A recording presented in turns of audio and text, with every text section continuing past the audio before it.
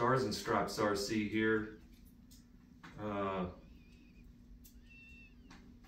I had this plane, well, it's been a, over a year ago, and I sold it to my buddy Joe Ray. And I got to missing this 1700 millimeter Corsair, and FMS was pretty good to me, so I couldn't pass it up. Um, this is a version 3 um, a couple of things that, as far as I know, what's included in the version three or what what the changes were was, uh, of course, they they have the reflex stabilization system in it, which I'll be taking out. I don't use that stuff. Um, it says it has an up, upgraded 5060 brushless motor with a high performance Hobbywing 80 amp ESC in it. I don't recall what was in the previous ones, but uh, they're, they're saying that's an upgrade. And uh, before you would have to you would have to uh, email FMS with the receipt of purchase in order to get the upgraded 18 by 11 four bladed propeller. But on the box it does say upgraded 18 by 11 four bladed scale prop which should be included in here. Uh, upgraded CNC metal electric shock absorbing retracts.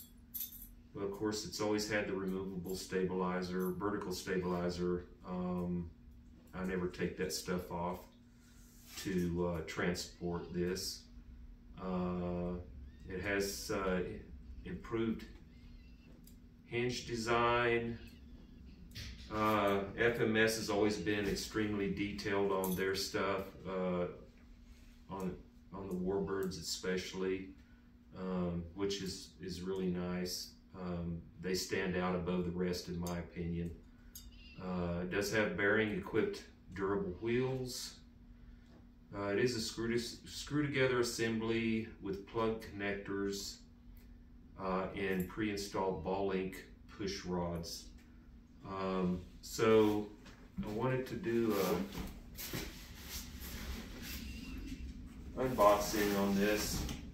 I have one on, on my old one I got a year ago, but uh, I always like to to do an unboxing on, on a new plane. And off the top, what was in the top was the manual, uh, the wing, uh, I call them harnesses. It's you. It's what you screw the wings down into bolts, the screws, uh, all that stuff, and the upgraded prop blades. Um, got your wing spars. And by the way, I do have my wing bags pre-made for this.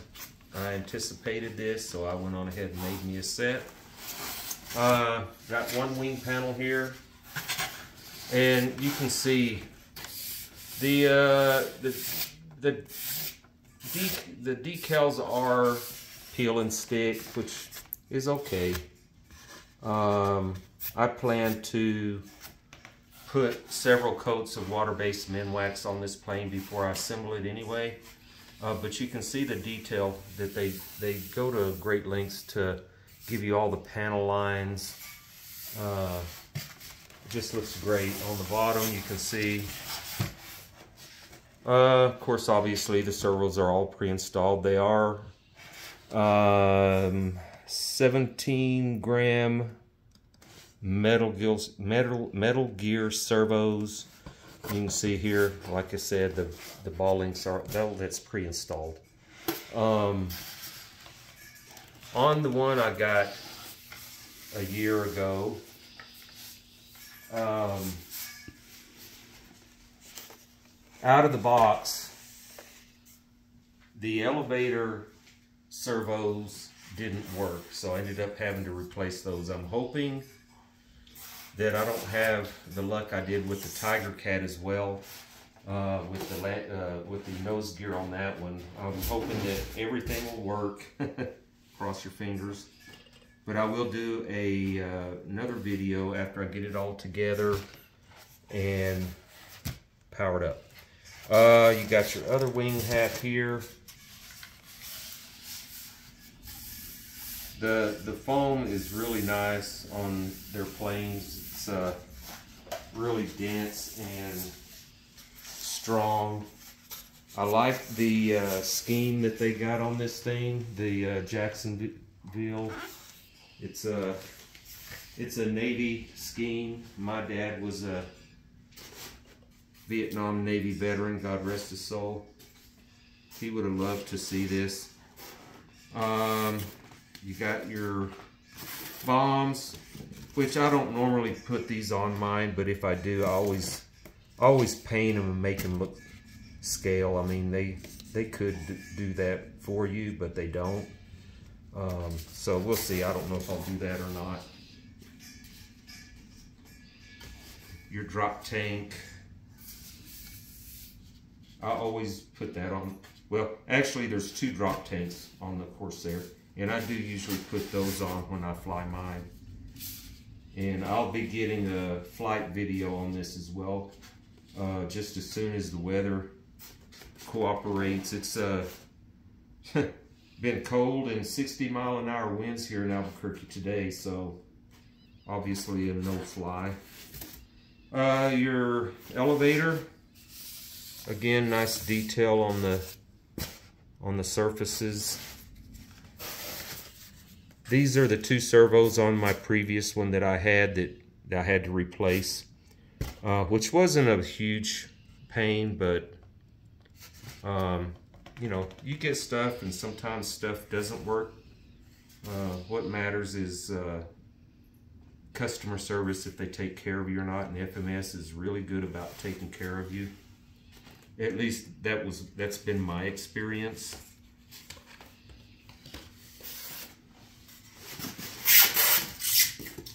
Got your rudder. Again, this snaps on and I'll show you on the fuselage when I take it out, but it, it just snaps on, um, which is cool.